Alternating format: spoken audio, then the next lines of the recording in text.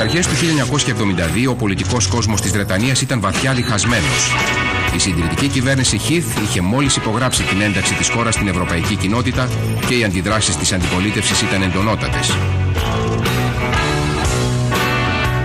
Η συμφωνία έπρεπε τώρα να κυρωθεί και από το Κοινοβούλιο και η διαδικασία αυτή έμοιαζε γολγοθάς για την κυβέρνηση Χιθ.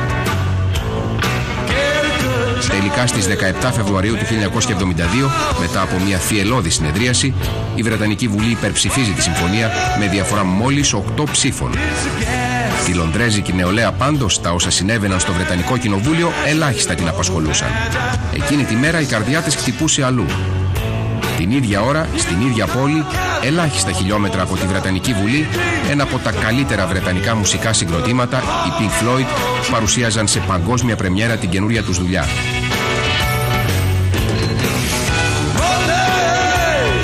Well, at 20 minutes to five, we can now say the decision taken in 1975 by this country to join the common market has been reversed by this referendum uh, to leave the EU. 47 χρόνια αργότερα και έπειτα από τρία χρόνια πολιτικής κρίσης στη Βρετανία εμφανίζει τη σκοτεινή πλευρά του φεγγαριού. Έτσι, μετά το δημοψήφισμα του 2016, ο Πρωθυπουργός Μπόρι Τζόνσον ανακοινώνει την συμφωνία αποχώρησης του Ηνωμένου Βασιλείου από την Ευρωπαϊκή Ένωση.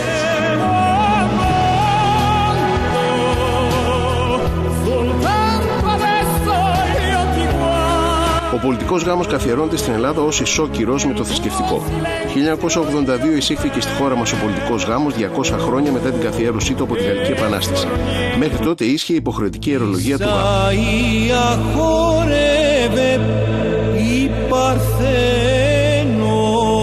Μια πρώτη απόπειρα για την εισαγωγή του πολιτικού γάμου στην Ελλάδα είχε γίνει στις 10 Μαρτίου του 1926 από τον Υπουργό Δικαιοσύνης Ιωσήφ Κούνδωρο, αλλά η πρότασή του απορρίφθηκε από τον δικτάτορα Θεόδωρο Πάγκαλο. Στη συνέχεια απασχόλησε και την Ομοπαρασκευαστική Επιτροπή του Αστικού Κώδικα τη δεκαετία του 30, χωρίς τελικά να υιοθετηθεί. Το σχετικό νομοσχέδιο εισήχθη προς συζήτηση στη Βουλή στις 17 Φεβρουαρίου 1982 και ψηφίστηκε στις 22 Μαρτίου με τις αρνητικές ψήφους της Νέας Δημοκρατίας. Με το Προεδρικό Διάταγμα 391 καθορίζονται οι λεπτομέρειες για την τέλεση του πολιτικού γάμου. Η Εκκλησία, βέβαια, είχε αντίθετη άποψη. Σήμερα είναι αλλιώς τα πράγματα. Έχει επινοηθεί κάτι που ονομάζεται πολιτικός γάμος. Αυτό ήταν το πρώτο βήμα για να εμφανιστεί ως εναλλακτική πρόταση χωρίς ιερότητα βασικά σε αυτή τη συμπόρευση των δύο ανθρώπων. Ο πρώτος πολιτικός γάμος στην Ελλάδα έγινε στις 18 Ιουλίου του ίδιου χρόνου στο χωριό Φραντάτο της Ικαρίας μεταξύ της Ντόπιας, Σταματούλας Πλακίδα και του Δημήτρη Μαύρο από την Άξο. Ο πολιτικός γάμος άρχισε να κερδίζει σταδιακά έδαφος και το 2012 έγινε η μεγάλη ανατροπή βοηθούσης και της οικονομικής κρίσης. Σύμφωνα με τα στοιχεία της Ελληνικής Στατιστικής Αρχής, οι πολιτικοί γάμοι ξεπέρασαν για πρώτη φορά τους θρησκευτικούς. Κυπριακή κυβέρνηση επί Προεδρίας Γλάφκου Κληρίδη πρότεινε στις 17 Δεκεμβρίου 1993 προτάσεις σύμφωνα με τις οποίες η Δημοκρατία ήταν διατεθειμένη να διαλύσει την εθνική φρουρά και να παραδώσει τον οπλισμό της στη φύλαξη της ειρηνευτικής δύναμης των Ηνωμένων Εθνών στην Κύπρο. Τον Ιανουάριο του 1994 ο Ντεκτάς συμφώνησε τελικά να αποδεχθεί καταρχήν το πακέτο των μέτρων οικοδόμησης εμπιστοσύνης και έτσι άρχισαν εκ του σύνεγγυ συνομιλίες σαν σήμερα 17 Φεβρουαρίου με στόχο την εφαρμογή τους. Ο πρόεδρος της Κύπρου, Γλάφκος Κληρίδης, δήλωνε στις 8 Ιουλίου 1994.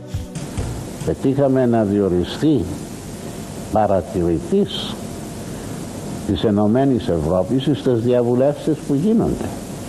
Και τούτο το πετύχαμε και παρά την ένσταση των Βρετανών.